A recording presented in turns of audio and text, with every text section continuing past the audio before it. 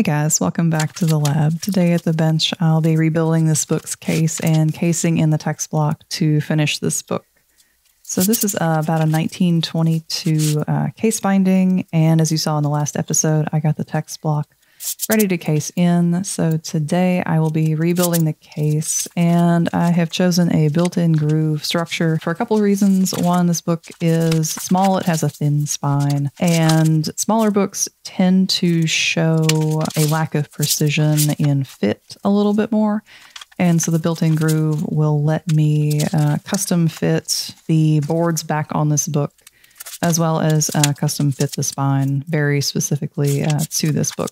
So I am going to start by cutting a spine piece for the case, and this just gives the back of the spine a little structure and allows the case to kind of know where to open and close. So that's right on either side of that spine piece.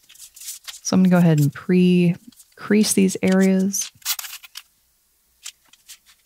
And I'm also, you'll see me check the fit um, a bunch while I am rebuilding this cover. And the whole point is I'm making sure that everything uh, fits well in terms of the cover, um, all three parts of the cover, and then the cover to the text block itself. So part of this custom fit is I will actually take a pencil and mark where the front and back covers need to live on this spine piece. So, normally, if I'm rebuilding a book, you um, will often see me take a ruler or a straight edge and line up the two boards and the spine piece to make sure that everything opens um, very specifically and that basically is a straight. In this case, um, because this is a landscape book, I want the boards to fit the way, like live on here the way that they need to live to create really good um, kind of turn in, even turn ins. And so that's why I'm doing it this way.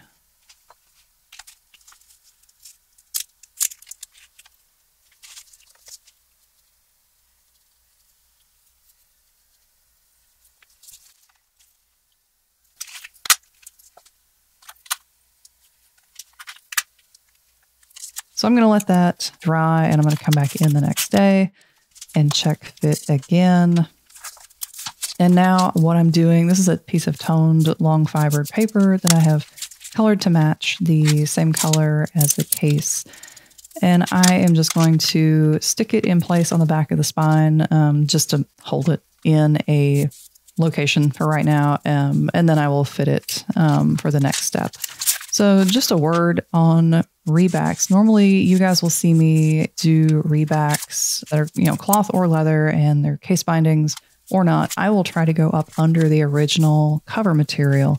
It looks tidier. This is an exception because this starch filled cloth cover material is extremely thin and it's not in great shape. You know, it's got that water damage, that insect damage, and the board underneath. These boards are actually really thin. And so any lumps or bumps up under due to lifting that original material will definitely show. And there's no design on the cover that needs to be retained. The covers are pretty plain. It's not like a uh, publisher's binding that's like really ornate up at the edge of the board and that needs to be retained. Um, that's not the case here. So I do want the edges of this material when the book is closed to line up with each other. That will look far more tidy than, than if they don't. And so that's why I'm kind of precisely fitting uh, where these edges are and then trimming them out.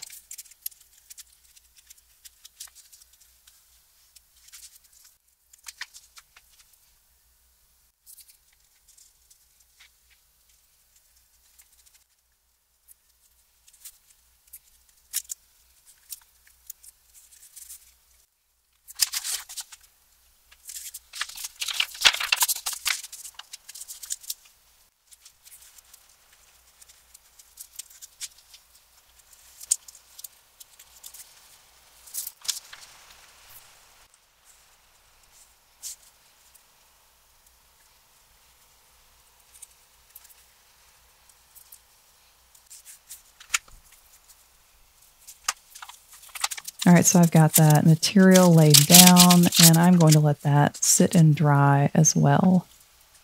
And the two um, pieces there are uh, spunbond poly release layer and uh, blotter. All right, so I will come back the next day and pull the blotter and the release material.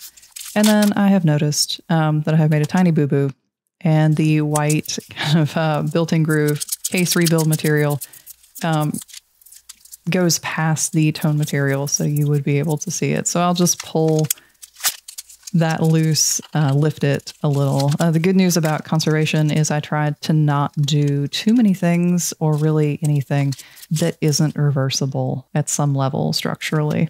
And this is a fine example of why that's important.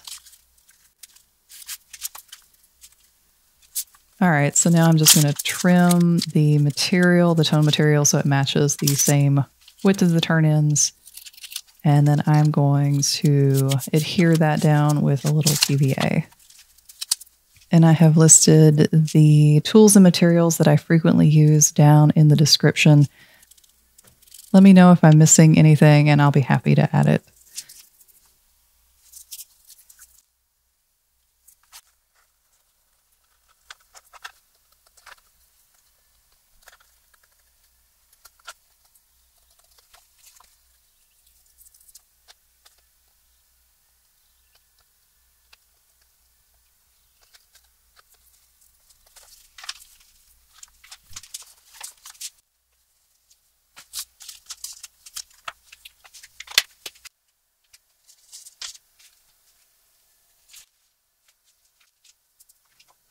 So now I'm going to come in and I am going to redefine that fold with my ruler and my Teflon folder to make sure that the case um, knows where it's supposed to open and close.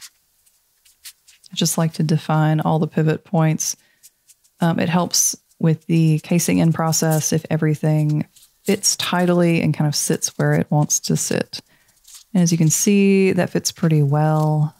And so now for casing in, um, I'll kind of take my time, make sure the text block is sitting where I want it to sit. All I do is I just set it down, open the cover, add a piece of waste paper, and then um, apply my adhesive, which is PVA.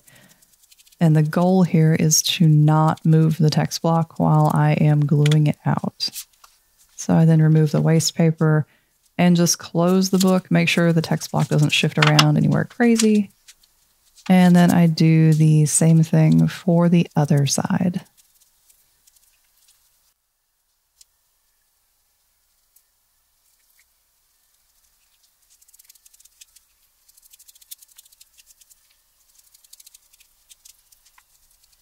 And I have a piece of uh, that linen lining that pulled loose, and I don't want it to show under my paste down, so I pull it with tweezers.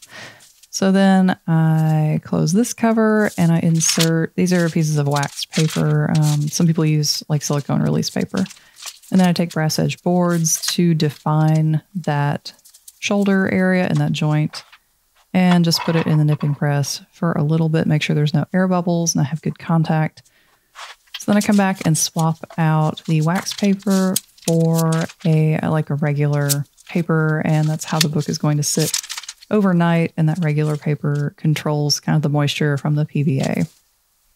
All right, so that's sat overnight. And then I like to come in and flex the joints for my clients, and this ensures that the book opens properly and isn't gonna do anything weird. Um, sometimes the new material can be a little stiff, and so I like to go ahead and get everything operating the way it should. Uh, this client actually lives in Austin, Texas. And so I want to be sure before I ship it back to him that it is in great shape. And when he received it, he let me know that he was thrilled with the results, which is always my goal is happy clients. Okay, guys, this one is done. So be sure to subscribe to catch all the videos from the lab. Thanks.